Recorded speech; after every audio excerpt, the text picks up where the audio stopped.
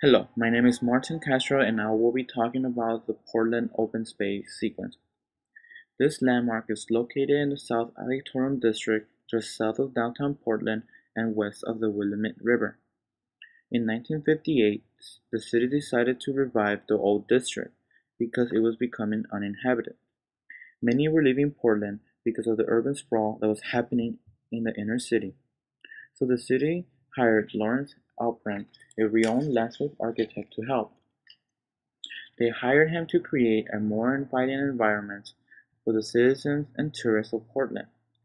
His initial concept was to create something similar to the Willamette River nearby. He wanted people to flow like water through his design spaces such as the river did through Portland. He designed a total of four fountain plazas on a two-mile stretch from the district to downtown. The first one was a small plaza with a small fountain in the middle, representing the beginning of the experience. The name "The Source" was given by Halprin. The second one was Lovejoy Fountain Park. This fountain was dedicated to Asa Lovejoy, who was one of the first settlers in Portland.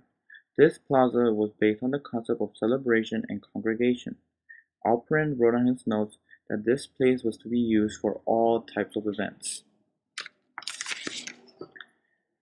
The third plaza is Pettygrove Park. The park was also dedicated to one of Portland's early settlers, Francis William Pettygrove.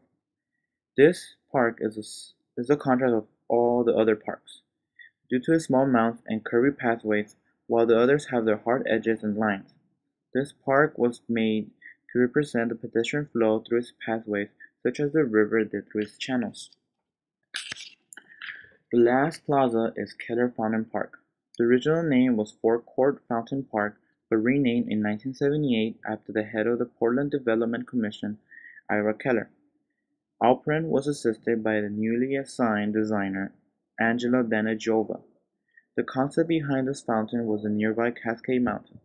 Halprin enjoyed how water circulated through the mountainous terrain and flowed down the cascade. He wanted to convey everything being pulled towards one point and be united in one place, just like the cascade and his project did. So between 1966 and 1970, Lawrence Halprin helped revitalize downtown Portland in such way that no other could have.